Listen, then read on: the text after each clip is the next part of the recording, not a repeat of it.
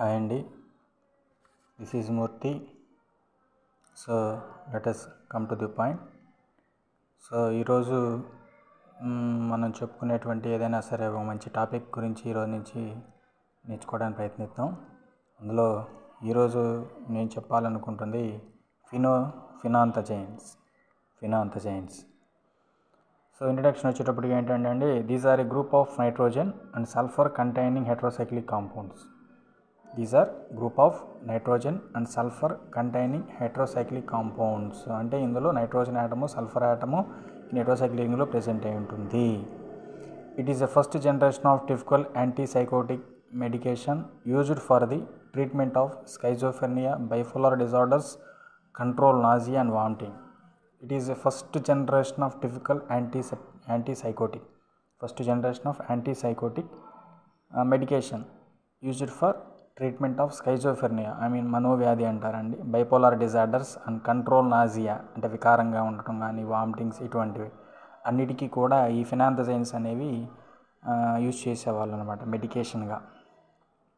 Next వస్తే it is abbreviated as PTZ. సింపుల్గా దీన్ని ఫినాంథజైన్ పిలవకుండా PTZ. It is organic compound and formula వచ్చేటప్పటికి C six HS C six H four twice NH and it is related to the thiazine class of heterocyclic compound. So structure వచ్చి ఎలా ఉంటుందండి? So nitrogen atom sulphur atom present అయి ఉంటుంది. Next the derivative of chlorpromazine and promethazine. Revolutionised the field of psychiatry and allergy treatment. మెయిన్గా ఈ క్లోరోప్రమజైన్ కానీ అట్లాగే phenothiazine వీటి యొక్క డెరివేటివ్స్ అన్నీ కూడా ఏంటంటే ద ఫీల్డ్ ఆఫ్ సైకియాట్రీ కానీ allergy treatment.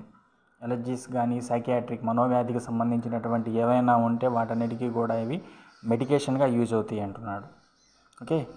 Phenothiazines phenothiazines is prototypical pharmaceutical lead structure in medicinal chemistry. మెయిన్గా ఈ ఫినోథైజైన్స్ అనేది ఫార్మాస్యూటికల్ డ్రగ్స్గా కూడా ఇవి యూజ్ అవుతాయి.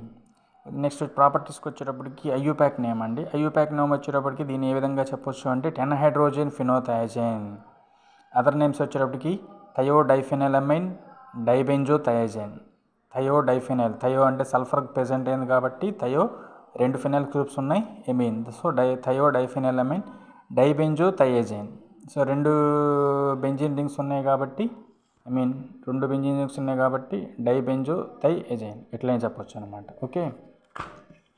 నెక్స్ట్ వచ్చేటప్పటికి కెమికల్ ఫార్ములా. దీనికి కెమికల్ ఫార్ములా వచ్చేటప్పటికి C twelve H nineteen N S appearance వచ్చేటప్పటికి గ్రీనిష్ ఎల్లో లేకపోతే డైమండ్ షేప్డ్ ప్లేట్స్ లైక్లో దీని యొక్క కలర్ అనేది ఎపీరెన్స్ అనేది మన కనపడుతుందన్నమాట.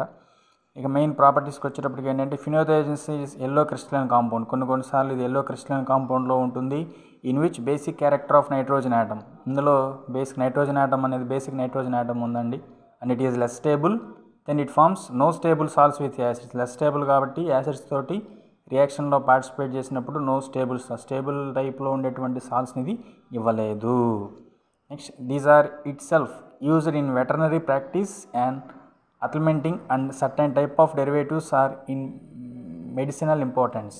So తనంతరకు తానుగా వెటర్నరీ అంటే కొన్ని కొన్ని యానిమల్స్ సంబంధించి డిసీజెస్ కానీ వాటిలో కూడా ఈ టైప్ ఆఫ్ డ్రగ్ని మెడికల్గా యూజ్ చేయొచ్చు అంటున్నాం యూజ్ చేయొచ్చు అనమాట the phenothiazine in which additional bridge is represented by sulphur. So పైన చూసుకున్నట్లయితే రెండు ఫినైల్ రింగ్స్ పైన బ్రిడ్జిగా సల్ఫర్ యాటమ్ ఉంది కదండి.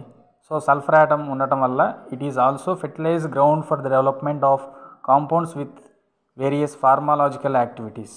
Not only medicinal కానీ కాకుండా గ్రౌండ్ డెవలప్మెంట్ ఫర్ ఫెర్టిలైజర్స్గా కూడా ఈ ఫినోథైజన్స్ అనేది యూజ్ అవుతాయి.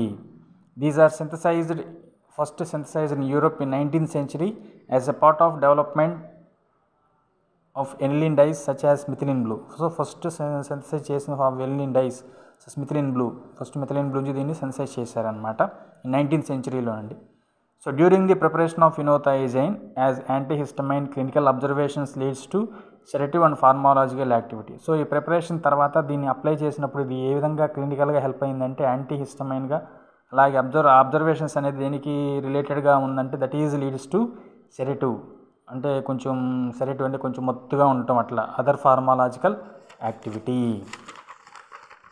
నెక్స్ట్ వచ్చేటప్పటికి ప్రిపరేషన్. ప్రిపరేషన్ ఎలా ఉంటుంది? ఏమిటి అనేది అండి సో ప్రిపరేషన్. డైఫెనైలామైన్ తీసుకున్నాడు.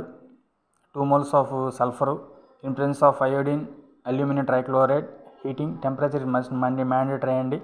So we get diphenyl amine gas అనేది బయటకు ఎలిమినేట్ అయిపోయింది. ఇక్కడ నెంబరింగ్ ఇచ్చుకుంటే ఇక్కడ నుంచి one two three four five six seven eight nine ten. కాబట్టి దీన్ని టెన్ హైడ్రోజన్ ఫిన్ ఫినాథజైన్ అని కూడా అనవచ్చు ఇక్కడ సెకండ్ పొజిషన్ ఇంపార్టెంట్ అండి. ఎలక్ట్రాన్ విత్ డ్రాయింగ్ గ్రూప్ మీద ప్రెజెంట్ అయిందంటే యాక్టివిటీ అనేది ఇంక్రీజ్గా ఉంటుంది.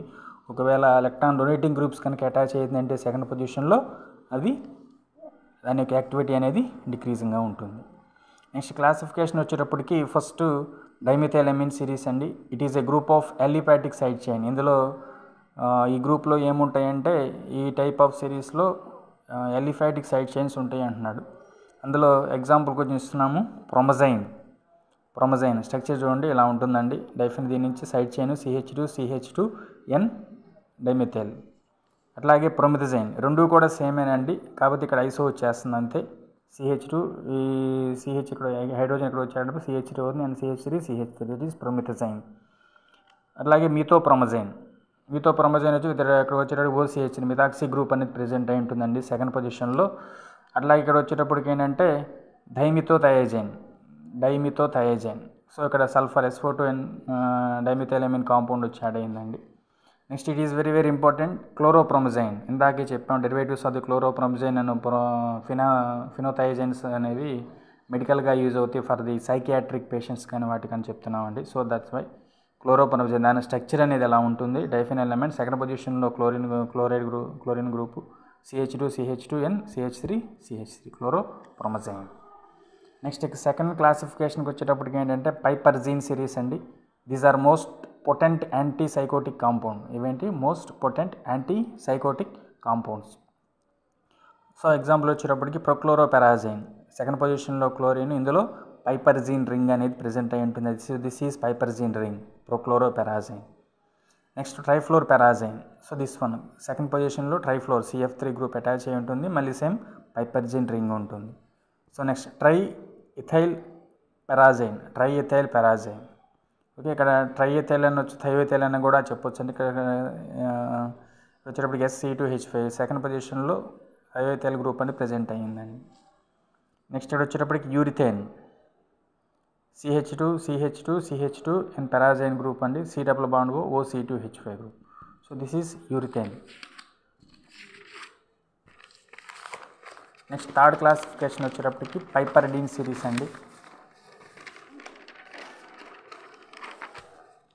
పైపర్డిన్ సిరీస్ ఇందులో many may most important one. ఇందులో ఫస్ట్ వన్ వచ్చేటప్పటికి థయోరిడిన్.